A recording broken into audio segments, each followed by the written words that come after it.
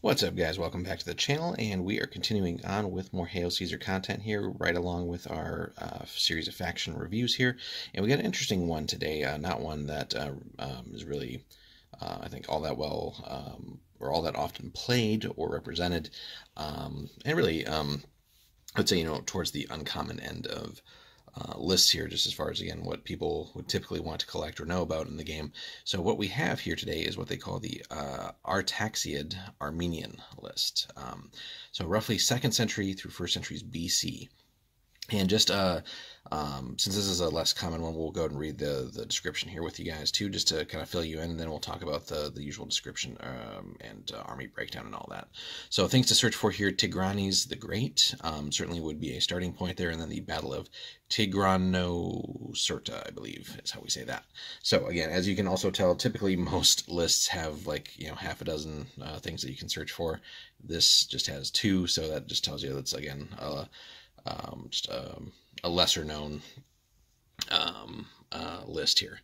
Um, and faction. So, uh, so this army hails from the brief Armenian Empire that spread over much of the disintegrating uh, Seleucid domains and can therefore include a number of subject peoples from the adjoining regions. So um, you have cataphract and heavy cavalry can be from Armenia, Gordyene, uh, Adiabene, uh, Media, um, uh, Atropene, um, and adjoining regions of the Parthian Empire as well as Syria. Lighter cavalry come from the same areas plus Cappadocia, Cilicia, and uh, Commagene, or Gene, I'm not sure how we say that one, to the west, and Iberia and Albania to the north.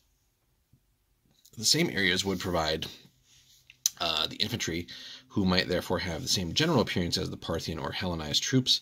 The Phalangites are former Seleucid troops, and the imitation legionaries, a deliberate and largely unsuccessful attempt to train troops to face the Romans. So, um, just from that description, guys, right, there's a whole hell of a lot of different things going on here in this list, um, and that's kind of what makes it an interesting one to potentially um, think about collecting, um, just because you certainly um, can use uh, or reuse some models from existing factions to sort of make up the, the, the majority of your troops here since there really aren't going to be specifically Armenian um, uh, models out there. So, uh, as far as I know, um, if you do, if you guys do know of some, hit us up in the comments. Uh, let us know. That'd be awesome.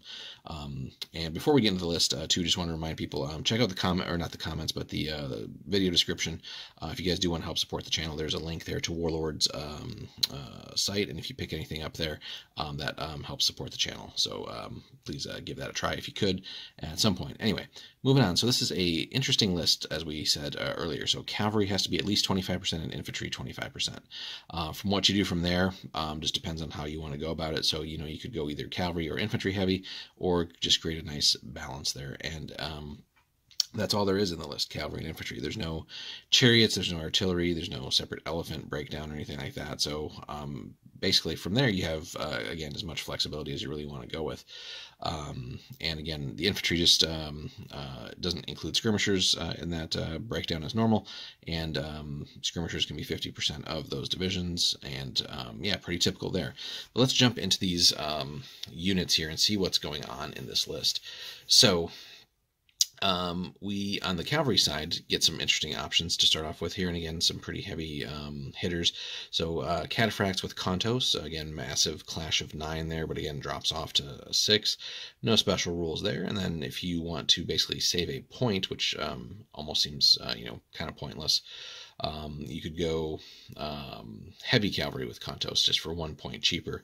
Um, now, again, there might be some differences there, just um, you know, with uh, the cataphract abilities, but um, it ultimately, you know, one point difference um, is just probably going to come down more to your personal preference and style and what you want to represent. But um, nonetheless, um, you know, you have just a, a, standard heavy cavalry unit, which is, you know, it'll, it'll do its job. You don't need uh, that uh, full of special rules or anything. It's, it's just going to do its job. It's pretty simple and straightforward. The list then also brings in horse archers as small units um, with Parthian shot for 19 points. Um, again, not really going to do anything in combat, but gives you a solid and mobile uh, long range option. And Parthian shot kind of takes that over the top as well. So, and the, you know, you have that in quantity, right? There's no restrictions. So that's fantastic and um, pretty cheap overall. So multiple small units of that is, is pretty nasty. Then you have light cavalry with javelins as small units, so give you some more nasty short range ability. A little bit better on the uh, combat side there, but again, um, they can handle. Excuse me, they can handle other light troops potentially. Um, don't expect much uh, or too much from them in combat, right? But these guys do come with feigned flight, so they can definitely get in there and do a little bit of work and then bounce back out if if they they don't really break the unit upon uh, initial contact there, because you certainly don't want to get stuck um, in, a war of attrition there with uh, a sustained fight value of just three, right? That's not gonna do you too well, and not with that um, morale save of six up. So, but nonetheless, Parthian shot and feigned flight in quantity, guys, and they're both 19 pointers, so pretty cool overall. Then we have another um, Flight uh, variant here uh, with some more long range firepower. Um, this is just a one of unit, basically. But um, Arab ca- uh, ugh, can't even talk. Arab camel mounted light cavalry with bows and javelins as a small unit. You just get the one unit. You might as well take it. It's only 20 points, um, but it gives you a solid two of long range and again feigned flight on a on a missile uh, unit there. Pretty cool.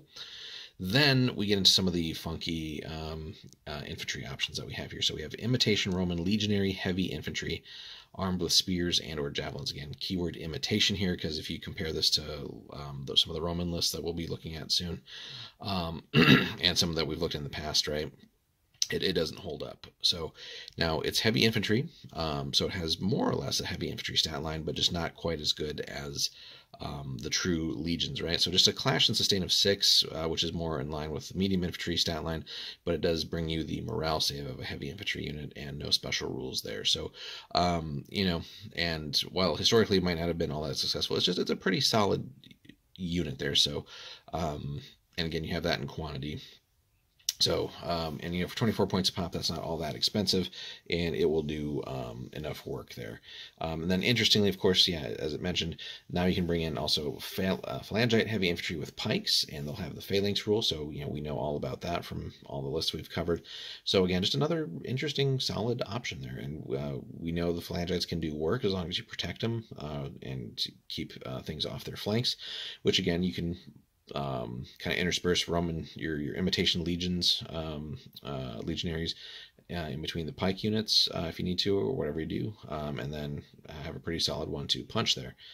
Uh, then we move on to light infantry levies of basically armed servants with just a hodgepodge of uh, weapons, um, basically cannon fodder, um, and there to sort of um, take up space and maybe briefly tar pit um, some units while you can get your other heavy hitters in place.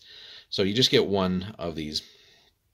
Um, and again, Clash and Sustain is pretty um, uh, mediocre there, as is a morale save.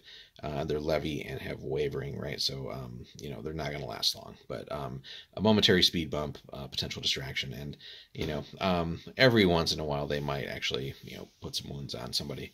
Um, then, um, you know, going from the light infantry, we go back up into medium infantry here um, just with spears, generic medium infantry unit, and again, as we said earlier, um, you know, it's got that medium infantry stat line, so very much, uh, you know, like the imitation legionaries. It's just that the imitation legionaries do have the heavy infantry save that a you know a, a Roman legion unit would have, but these guys here are just a true medium infantry unit, so um, nothing, nothing special. Um, but again, uh, not bad by any means either.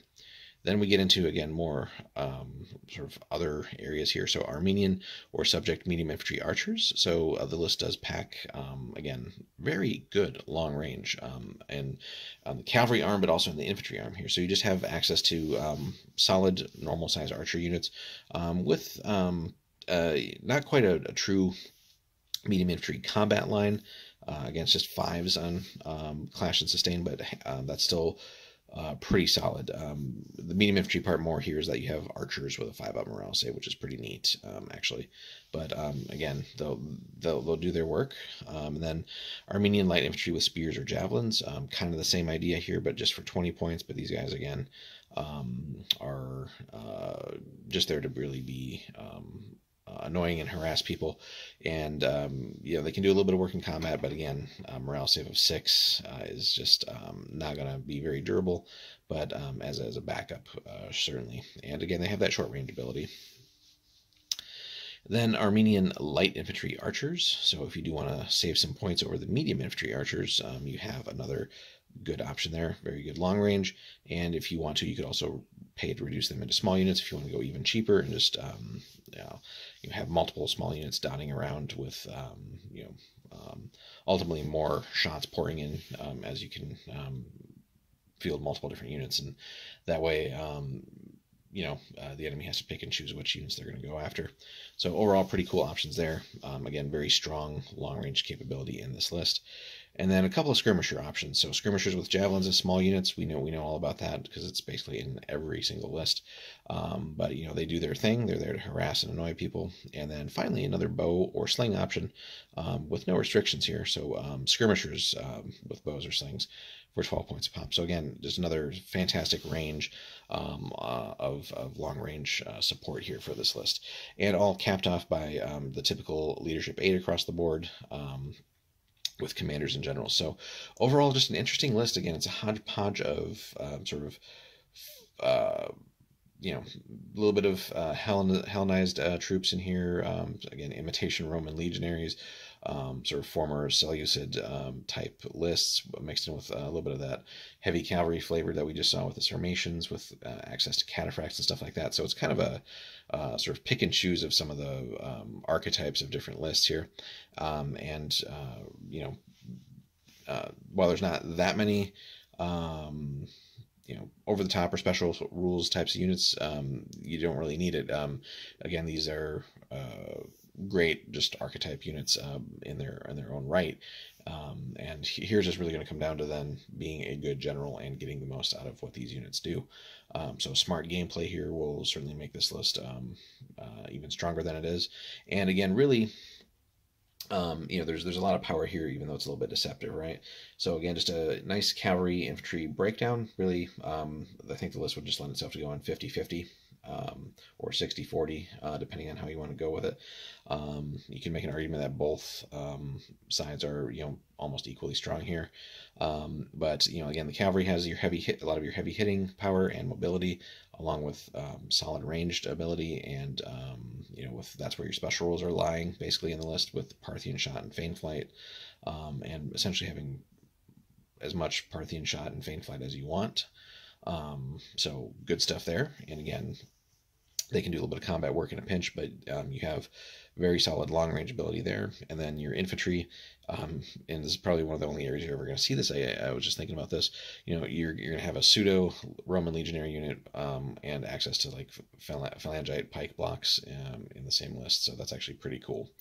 Um, so you can definitely get a lot of interesting um, things out of that. And then again, on the infantry side, you're you're you're blessed with you know multiple different archer units um, and uh, you know your solid skirmishers and all that. You don't need really need any special rules there. Um, you know you don't need marksmen or anything else. Um, they're just again standard unit types, uh, just representing all these different types of peoples and stuff and influences um, that kind of represented what the, uh, the, again this brief Armenian Empire kind of consisted of, and ideas and things that they tried to incorporate into their uh, their military.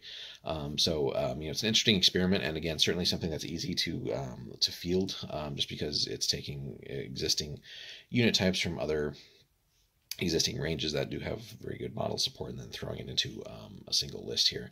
So, um, so this is, um, you know, I would say a kind of like a little um, sleeper powerhouse here, really, if you um, just get a handle on, you know, incorporating these different things and striking a good balance with some smart gameplay. Like I said, um, just overall really good stuff. So let us know in the comments, guys, if you have tried this Armenian list or, you know, if you think you're up to it. Again, uh, anyone who's played um, or has existing Roman um, and or Greek um, uh, miniatures, uh, any of the successor kingdom stuff, you could really certainly easily put this stuff together in a pinch uh, just to proxy it out. Um, and then, you know, if you wanted to, again, reuse a lot of those miniatures um, if you bought them separately and just uh, figure out what a paint scheme might be for these guys. Um, but it could be a cool um, modeling uh, opportunity, hobby opportunity there, and uh, just something probably fairly unique on the tabletop. You know, I can't imagine that there's that many people that have collected or played this list even. So, but let us know in the comments, guys, what you think. If you if you do um, um, have a list of these guys, or if you've um, you know played against it, um, let us know uh, what your experiences have been. Uh, I think it's a cool one. And uh, certainly one that could um, do with some extra attention and um, representation on the tabletop. Um, and again, uh, if you guys haven't already, uh, hit us up with that uh, like and subscribe. Uh, it does help support the channel. And like we mentioned earlier at the beginning of the video, um, if you guys do want to support the channel even a little bit more, um, there is a link in the description there. If you guys head over to Warlord, pick up anything from them, that does uh, come back and help support the channel a little bit as well. So appreciate it if you guys could do that. Um, other than that, thanks so much for stopping by again, guys. hope you enjoyed the video, and we will be back in the next one.